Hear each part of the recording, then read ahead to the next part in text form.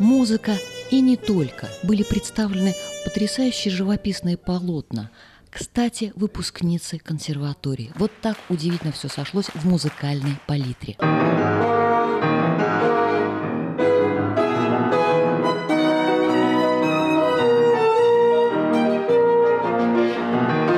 Я первый раз на этом фестивале. Музыкальные пейзажи по приглашению Натальи Гринес и Евгения Брахмана. И это чудесное мероприятие и потрясающая возможность э, для а, детей получить мастер-классы, позаниматься с хорошими педагогами. На мастер-классы я а, приезжаю в разные страны, может быть, немного чаще, чем раньше, но по-прежнему моя основная деятельность – это концертная. У каждого человека своя степень открытости, своя, если угодно, тональность. Еще один участник проекта Сергей Островский. Напротив, очень большое количество времени в своем плотнейшем графике уделяет занятиям с детьми. Я и преподаю, я играю соло. У меня струнный квартет «Авив» 23 года. Я дирижирую.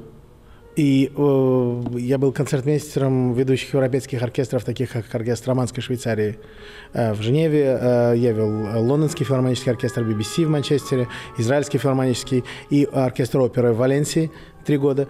Вот, так что я как бы все время, мне все это нравится, мне все это интересно. Мне приходится работать с детьми э, такого школьного возраста в разных странах, и все-таки пока что на территории экс-советского пространства подготовка детей гораздо выше, чем, скажем, в Испании, Швейцарии, там, Франции.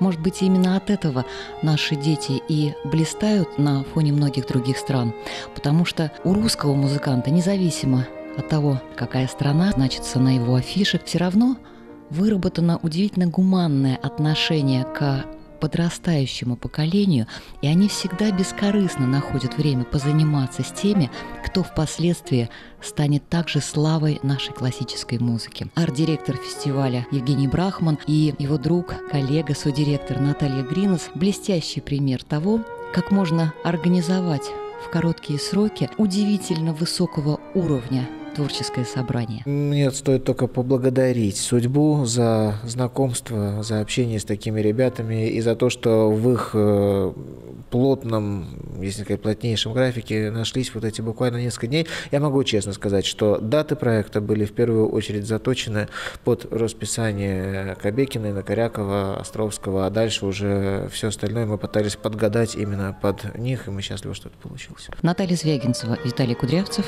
Время новостей. Итоги недели.